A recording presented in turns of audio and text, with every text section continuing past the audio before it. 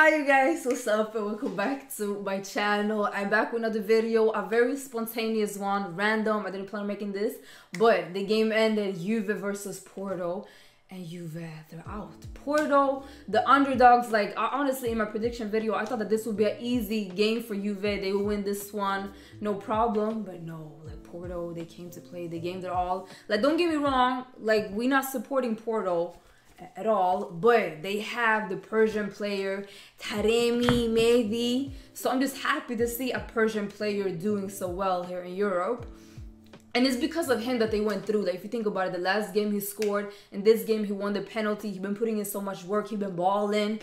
So yeah, you know, happy to see that. But they fought through with 10 men.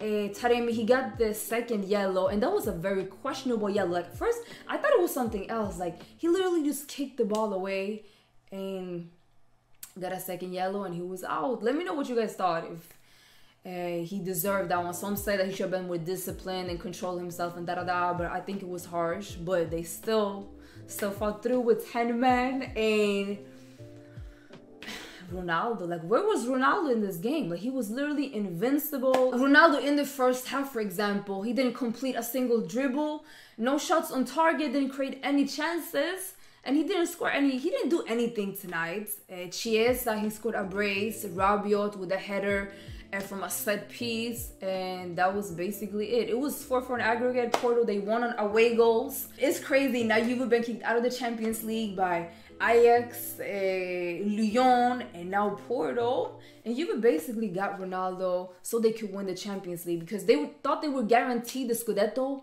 and they're not even winning that one this year.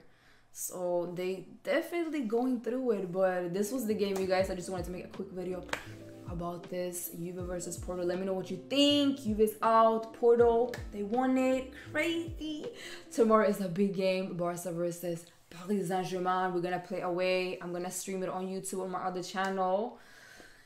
Yeah, it's gonna be a very interesting one. I'm excited, uh, regardless. But don't forget to leave a like, comment, and subscribe if you're new. And I'm gonna hurry up into this one and then go to sleep. I'm so tired. But thank you so much for watching. Ciao, bye, adios, besos, besos, bye.